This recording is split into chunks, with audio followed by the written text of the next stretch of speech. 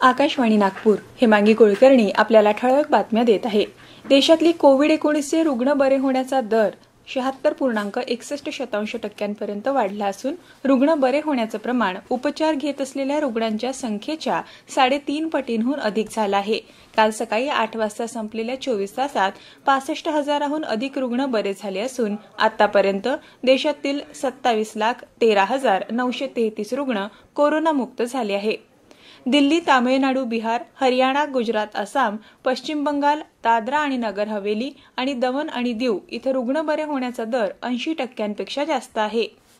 यावर्षी एअर इंडियाची खासगीकरण प्रक्रिया पूर्ण होईल अशी अपेक्षा नागरी उड्डयन मंत्री हरदीप सिंग पुरी यांनी व्यक्त केली आहे.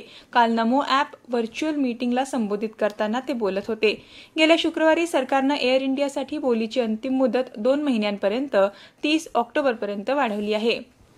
वाशिम जिल्ह्यातील कारंजा कृषी उत्पन्न बाजार समितीचा समावेश ई नाम बाजार समितीमध्ये करण्यात आला आहे. या अंतर्गत आता या बाजार समितीत ऑनलाईन पद्धतीनं खरेदी विक्री केली जाणार आहे. त्यासाठी पहिल्या टप्प्यात आडते व्यापारी यांची नोंद करण्यात आली आहे. यापूर्वी जिल्ह्यातील पाच बाजार समिती समावेश ई नाम समितीमध्ये आहे.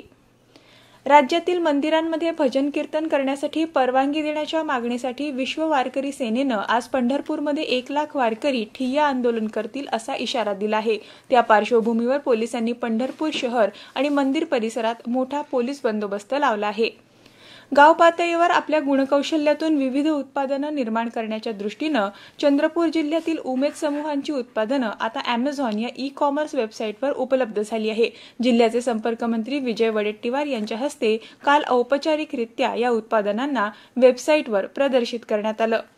उद्या सकाळपर्यंत विदर्भात आणि मराठवाडा इथं तुरळक ठिकाणी कोकणात बहुतांश ठिकाणी मध्य महाराष्ट्रात काही ठिकाणी पाऊस पडण्याची शक्यता हवामान खात्यानं वर्तवली आहे.